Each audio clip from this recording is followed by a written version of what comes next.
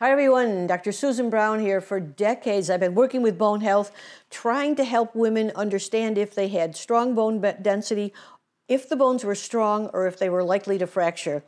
Over the decades, we found that the DEXA bone density tests that we use really aren't that great at predicting fracture. They're very influenced by size of bone, by height of the person, by weight of the person, and in essence, they cannot predict fracture risk very well. What happens now is there's a whole new technology. This is a REMS technology that also is known as Echolight, and it is brought to us from the Italian research group. What's interesting about this REMS technology, this ultrasound, first it's radiation free, but second, it can tell us the fragility of the bone. It provides a fragility index, so give, it gives us an idea of strength of bone. It also tells us the bone density, but more important to me is the fragility index that tells us the strength of bone. So we have teamed up with this REMS Technology Group. There'll be Dr. Bush from North Carolina. There'll be Dr. Zambito.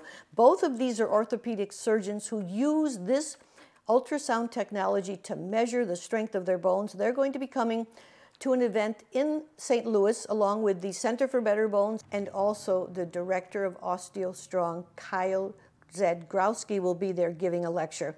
You're going to have several lectures between October 25th and 28th, and you're going to have the opportunity to have your bone density measured by this new technology. But not only your bone density, you're going to have your bone fragility index determined by this new ultrasound technology.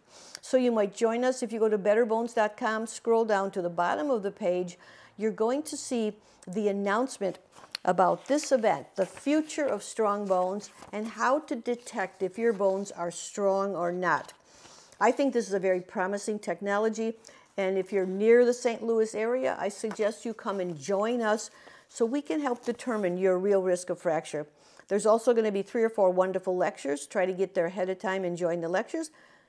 And I look forward to seeing you there.